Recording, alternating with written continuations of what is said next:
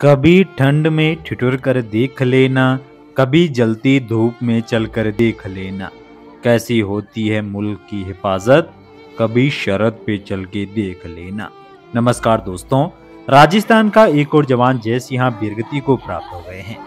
शहीद जवान झुंझुनू के उदयपुर वाटी के गोंडा गोंडजी के ढूंढिया गाँव के रहने वाले थे।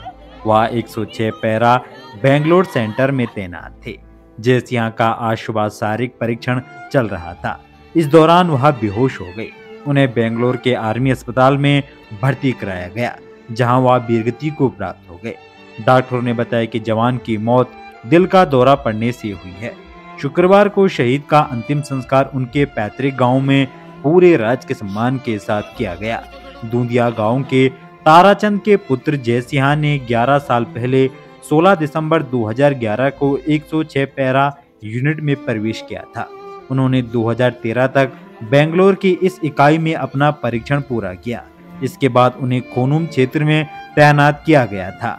छह साल के लिए जम्मू भारतीय क्रिकेट टीम के पूर्व कप्तान M S Dhoni, lieutenant colonel ने उस यूनिट में ट्रेनिंग ली, जहाँ जय सिंह जम्मू में रुके थे।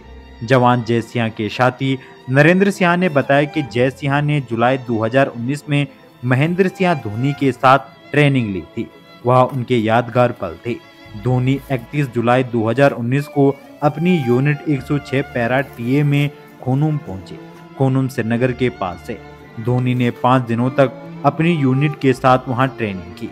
तीस नवंबर को छोटे भाई की प्रतिमा का अनावरण होना था। जयसिया के छोटे भाई पिंटू कुमार को भी इसी यूनिट में भर्ती किया गया था। नियमित परीक्षण के दौरान, कूदने के दौरान पिंटू कुमार घायल हो गए। उन्हें रीढ़ की हड्डी में गंभीर चोट आई। पिंटू पिछले साल 30 नवंबर 2021 को शहीद हो गए थे। 30 नवंबर को दूधिया गाँव में शहीद पिंटू की प्रतिमा का अनावरण होने वाला था। लेकिन इससे पहले ही घर का एक और चिराग बीरगति को प्राप्त हो गए।